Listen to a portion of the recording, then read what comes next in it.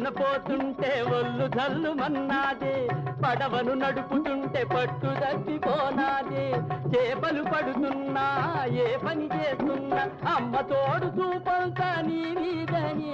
నన్ను నమ్మవే ఇంక నమ్మవే నిన్నిడిచిపోలేనులే. మీ బలే ఓలమ్మీ. నాకు నీవే కావాలి.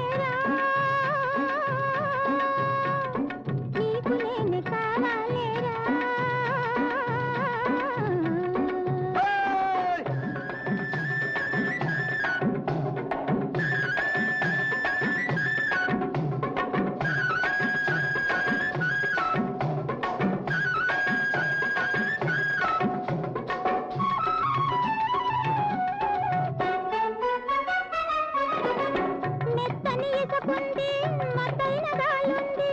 కోరుకున్నప్పుడెల్లా కొబ్బరి నీరుంది. మెత్తని ఇసుకకేమి మతైన గాలికేమి అన్నిటికీ మించి నాకు నువ్వుంటివి. నీ అందమే ఆ అందమే పదివేల సొమ్మంటివి.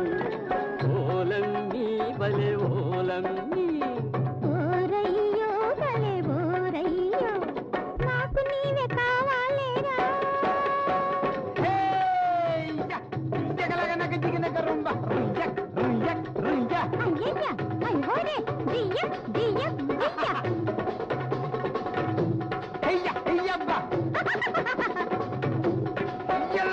Yeah.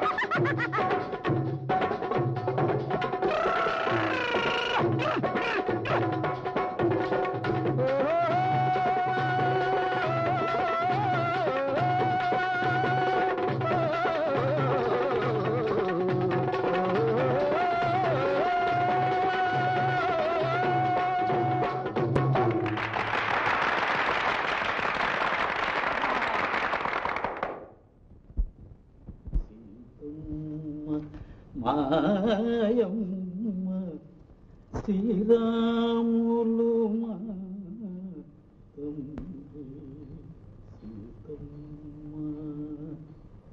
అమ్మా సీత రమ్మా. ఇవాళ రామాయణం నువ్వు చదవాలమ్మా.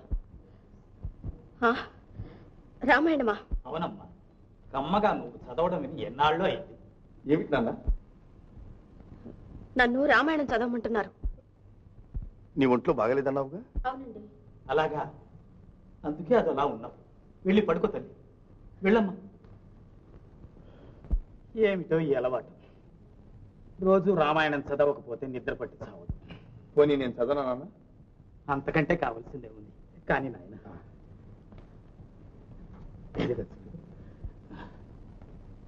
ఇక్కడి నుంచి చదువు నాయన. అలాగే నాన్న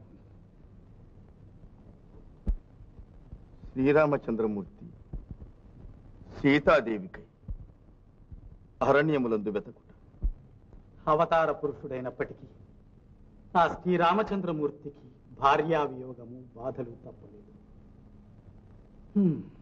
చదువు నాయన అంత సౌమిత్రి సమేతుండైన శ్రీరామచంద్రమూర్తి జానకీదేవి దాడగానక వికలిత మనస్కుడు నిట్టూర్చుచు. వదన మండలమున విచారమేఘములు క్రమ్మ ఆరాటంబున ప్రకృతిని ఉద్దేశించి. జగమెల్ల పరికించు చల్లని జాబిల్లి. సుదతి సీతను నీవు చూడలేదా? ప్రతి చరాచరముల పయనించు చిరుగాలి జానకి నెటనైన కానలేదా? కరుణతో విశ్వము భరించు భూమాత చెలిజాడనీవైన తెలుపరాదా? తరులార గిరులార మెరయు తారకలార పడతి ఏమయ్యనో పలుకరాదా ఏది వైదేహి జానకి ఏది సీతలే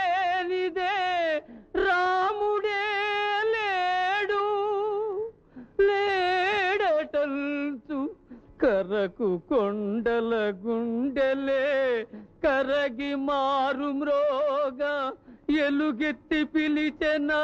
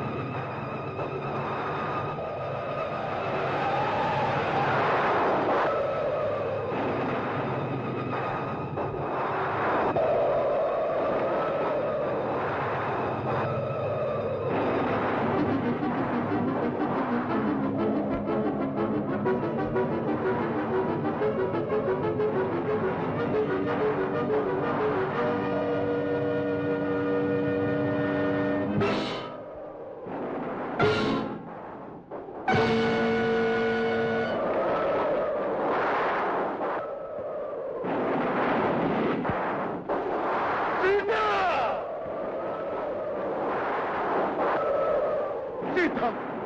సీత! ఇన్నాళ్ళు నువ్వెక్కడో ఉన్నావని ఎప్పటికైనా వస్తావని అనుకున్నారే కానీ ఈ భయంకర దృశ్యాన్ని కల్లారా చూడవలసి వస్తుందని కల్లో కూడా అనుకోలేదు సీత. ఇన్నాళ్ళు నా ఇల్లు నా వాళ్ళు అని తప్పించిపోయిన నా చివరి కడియల్లో అయిన వాళ్ళెవళ్ళు దగ్గర లేకుండా దిక్కుమాళ్ళ దారిలా తావలసి వచ్చిందా? సీత! సీత!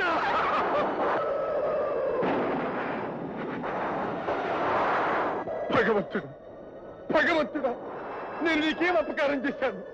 ఎందుకు నాకు ఈ శిక్ష విధించావు? ఎందుకు నాకు ఈ శిక్ష విధించావు?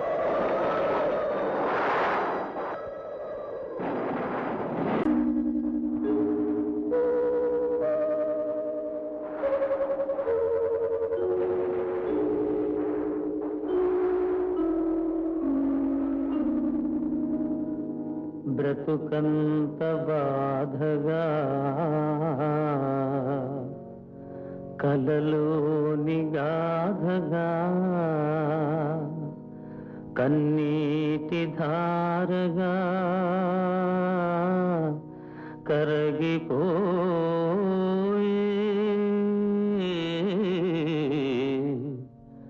తలచేది జరుగదు. జరిగేది తెలియదు. బొమ్మను చేసి ప్రాణము పోసి ఆడే